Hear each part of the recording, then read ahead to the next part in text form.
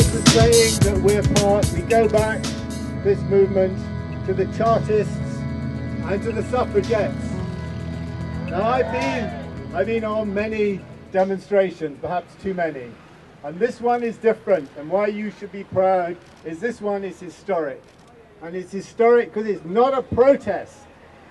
We are a claim, a claim on how we're going to be governed.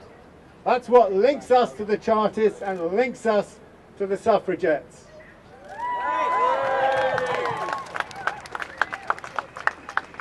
But we have an advantage over the Chartists and over the suffragettes, which is the change we want is already starting to happen.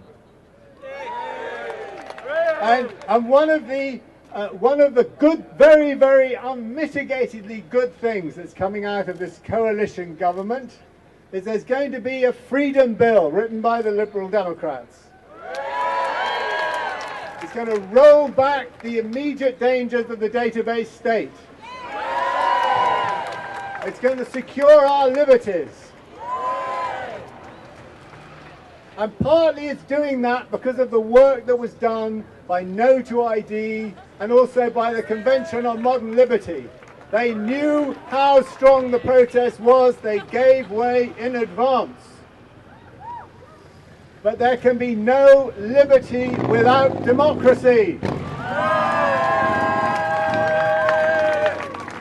Now in that famous press conference, Nick said that he hoped it would be the start, the start of a new politics. But I think that Dave wanted it to be the start of a new establishment. So let's make it the start of a new politics, and that means democracy.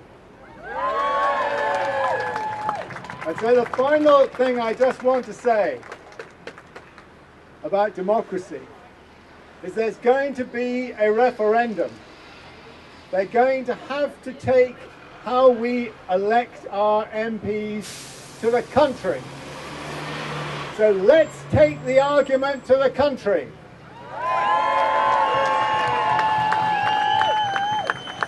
Let's have a purple banner, a purple banner on every street.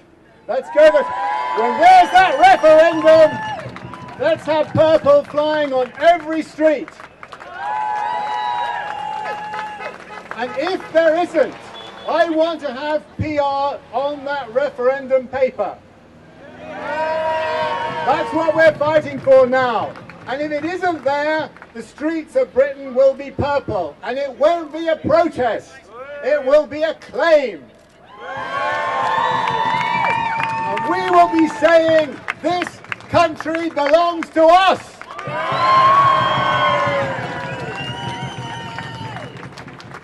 And we're going to say no liberty without democracy. And we're going to win this one.